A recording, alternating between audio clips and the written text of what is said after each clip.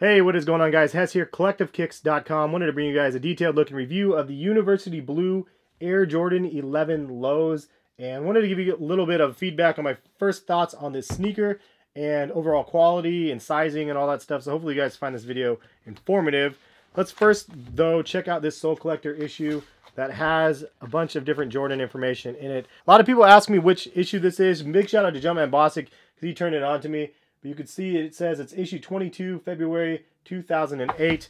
And in here, it goes over all of like the staple colors and the original colorways of the Jordans and some PEs and so on. So anyways, you could see this is the Air Jordan 11 and inside of here, you could see all of the different colorways that ended up releasing. So 2000 and 2001, they did a lot of good things. Space Jams, Concords, Breads, they introduced the cool grays and then the Columbia's retroed as well. But we did have a whole bunch of Air Jordan 11 lows and we've seen a lot of these retro. So this is another one that we're finally seeing. So 2001, you could see right here, white Columbia blue is what they actually called it back then.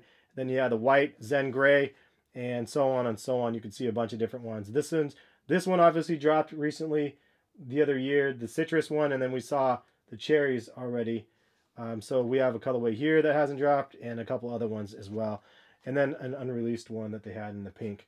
But this is a cool little Bible to be able to look back on and see some of the colorways and give you some information about the shoes. So definitely worth checking that out. I'll link this on eBay or something like that if they have it available for you guys. First up, we will take a look at the box. You can see just a gold foil Jumpman here, down in the corner. Gold foil Jumpman down there. You open the box up.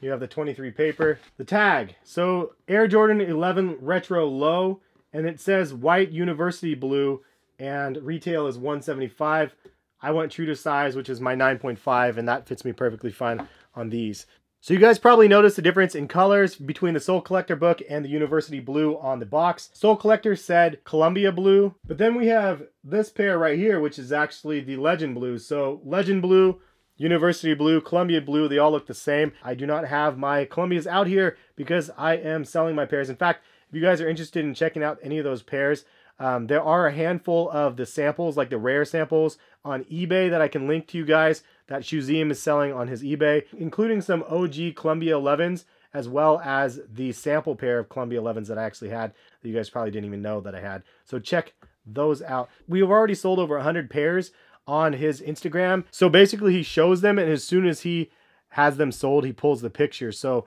the hottest items definitely sell really fast. So if you guys are interested, I would turn on notifications on Instagram for his posts through the week.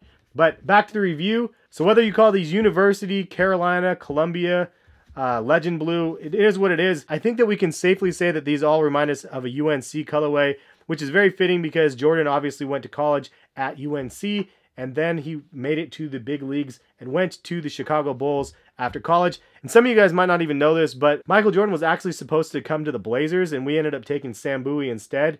And it was the most epic failure of the Blazers' career. And Oden was um, one of the more, more recent failures that we've had. So, an overall look at the shoe, you could see that the quality of the leather is mediocre. It's not super fantastic anytime I have I see white leather, I just it's never like super dope to me. It definitely has that kind of McDonald's leather sort of vibe to it, but uh, it's not bad. It is what it is. I mean, this is going to be a great summer shoe regardless. The original Air Jordan 11s were actually uh, real patent leather and it was a really high quality, expensive leather. They've definitely trimmed down on that. You can see it's thinner than uh, some of the leathers that we've seen in the past. It has the rope laces that we all have been familiar with. On the inside of the tongue, it says quality basketball products inspired by the greatest player ever. So it has the white midsole and then the icy blue pods. Definitely a little bit different than the original ones. These are really, really icy comparison to the OGs that were like just clear. The traction parts of the shoe are in that University Carolina type blue. This is probably my favorite part of the shoe. Carbon fiber on the 11s. And you can see it has that checkered uh, University blue and black. And you can see it through the clear foggy sole of the shoe. I, I think that just looked really cool. And, you know, I like this a lot because I love Foamposites, and Foamposites also have the uh, carbon fiber shank on the shoe. But that is an overall look at the Air Jordan 11 low in this colorway. What are your guys' thoughts about the shoe? Is it one that you guys are looking forward to picking up or not? I think this is definitely going to be an easy sellout. At 175, it's kind of a no-brainer. And this is definitely a perfect shoe timing-wise with this release because it's such a great segue to the springtime and summertime. Definitely a smart move from Jordan Brand to release this in a timely fashion. Thank you to Champ Sports for sending me this pair. Do appreciate you guys so much for doing that. I had no idea it was coming. I have no idea who else they sent these to, but I'm really happy that they did send me uh, a pair of these. But anyway, thank you guys for watching the video. Do appreciate y'all for stopping by the channel and showing some love. And if you made it this far in the video, uh, major high fives to you guys. And hopefully you guys enjoyed the content. We will catch you guys for some more sneaker content soon. Subscribe to the sneaker channel if you guys have not. And we'll catch you guys for some more sneaker videos soon. Peace, guys.